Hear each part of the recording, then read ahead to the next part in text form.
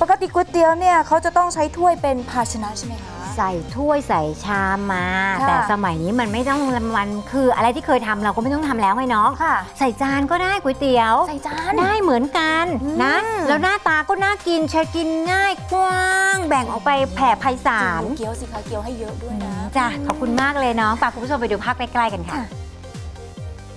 น่ากินเชียวร้านก็ดูสะอาดสะอ้านนะคะคุณผู้ชมปกติเราก็จะเห็นก๋วยเตี๋ยวใส่ชามใส่ถ้วยใช่ไหมคะใช่แต่ว่าที่นี่เขาดึงความแปลกสะดุดตาค่ะ โดยการนำจานมาเป็นภาชนะในการใส่ก๋วยเตี๋ยวเขาเรียกได้ว่าแปลกและไม่เหมือนใครนะคะ ต้องที่ร้านก๋วยเตี๋ยวตายายจ้ะ แห่งเมืองพิษณุโลกอืมบรรยากาศร้านร่มรื่นนะก๋วยเตี๋ยวของร้านก็เป็นสูตรโบราณดั้งเดิมเลยน้องดูในสมัยเด็ก ๆ ที่เรากินจำได้ไหมเหมือนนี่เลยแล้วก็จะมีเมนูเสิร์ฟเพิ่มเติมจากปกติแต่ละวันด้วยนะ หมุนเวียนสับเปลี่ยนกันไปในหนึ่งหนึ่งสัปดาห์ เช่น เขาจะมีเมนูก๋วยเตี๋ยวเย็นตาโฟ มีบะหมี่เกี๊ยว มีก๋วยเตี๋ยวน้ำตกวัตถุดิบทางร้านเขาก็จะสดใหม่สะอาดอร่อยสมคำร่ำรือนี่นี่วันนี้มีก๋วยเตี๋ยวบะหมี่เกี๊ยวจ้าโอ้แต่ละวันเมนูก็จะไม่เหมือนกันนะคะค่ะต้องไปถามคุณปรมาภูลพิชนกันสักหน่อยแล้วก็ลูกชาย ชื่อว่าค่ะคุณนัชชาภูลพิชนเล่าให้ฟังนะคะว่า คือที่บ้านเนี่ยเขาเปิดเป็นร้านขายก๋วยเตี๋ยวมาตั้งแต่ปี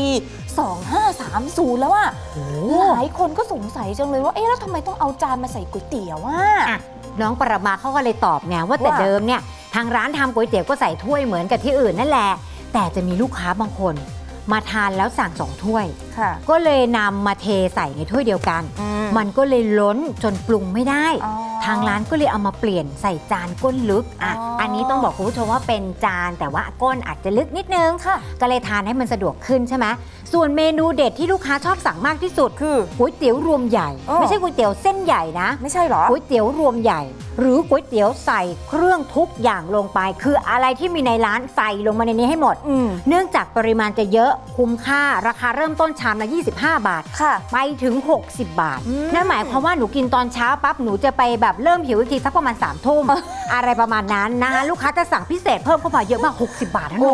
น้องหกสิบบาทเนี่ยอิ่มถึงสามทุ่มเลยใช่ไหมจริงโอ้น่าสนน่าสนน่ากินนะน้ำใสอ่าเลยไปอะกินกันน้องปะใครสนใจพิกัดร้านก๋วยเตี๋ยวตายายนะคะอ่าอยู่ที่บ้านเลขที่105 เลยนะค่ะคะหมู่ที่ 6 ค่ะตำบลจอมทองอำเภอเมืองจังหวัดพิษณุโลก เปิดขายทุกวันไม่ต้องห่วงค่ะ ตั้งแต่ 9 โมงเช้าถึงบ่าย 3 เท่านั้น นี่ดูบรรยากาศร้านน่านั่งมากนะคะรื่นใช่นะคุณผู้ชมปะไปต่อกันที่อีกหนึ่งก๋วยเตี๋ยวใส่จานกันดีกว่า ได้เลยค่ะอืมพาไปกินก๋วยเตี๋ยวใส่หม้อดินอุ้ยนะเมื่อกี้จานเสร็จแล้วก็ต้องมีหม้อดินใช่ไหมอืมหม้อดินที่เป็นกลยุทธ์การขายที่ต้องการสร้างความแปลกไงค่ะของสองพี่น้องชาวอำเภอสังขะนะ ของสุรินทร์นะคะ หนีพิษโควิดจากเมืองกรุงกลับอืมจากกลับบ้านอืมเปิดร้านก๋วยเตี๋ยวเรือหม้อดินกันไปเลเลิศยที่สุดมาดูจุดเด่นของที่ร้านนี้กันสักหน่อย เขานำหม้อดินน่ะมาแทนถ้วยชามไงนี่ไงคือแปลกตาไง ดึงลูกค้าให้มาอุดหนุนเยอะๆ ส่วนเคล็ดลับความอร่อยอยู่ที่นี่เลยก๋วยเตี๋ยวก็ต้องอยู่ที่น้ำซุป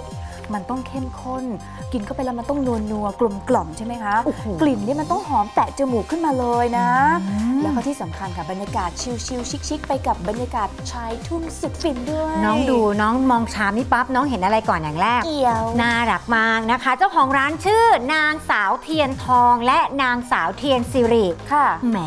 เพราะพริ้งจริงอืมๆหลังจากเจอพิษโควิดในเมืองกรุงนำเงินเก็บจำนวนหนึ่งมาเปิดร้านร้านนี้ เพราะอยากจะแบ่งเบาภาระค่าใช้จ่ายให้กับพี่น้องประชาชน ในยุคเศรษฐกิจแบบนี้นะนะคะ ก็เลยมาขายก๋วยเตี๋ยวในราคาย่อมเยาอืมเปิดบริการน้ำแข็งใสด้วยให้ไปทานกันได้นะคะอืมแล้วก็มีเขาบอกว่ามีเป็นกิจกรรมการร่วมกันของครอบครัวนะอืมสร้างความสุขไปอีกแบบนี้น้องน้องดูน้องดู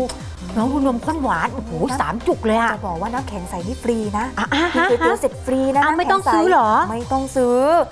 ใครอยากอิ่มอร่อยไปพร้อมๆ กับวิว ทุ่งดอกไม้สวยค่ะๆน้ำแข็งใสแบบเมื่อกี้ ปักหมุดอุดหนุนได้เลยนะคะ ที่พิกัดร้านก๋วยเตี๋ยวเรือหม้อดิน อยู่ริมถนนสุรินทร์สังขะ บ้านแบกจานตำบลสังขะอำเภอสังขะจังหวัดสุรินทร์เด้โอ้อชอบจังเลยบ้านแบกจานน่ะอืมนะคะคุณผู้ชมมาข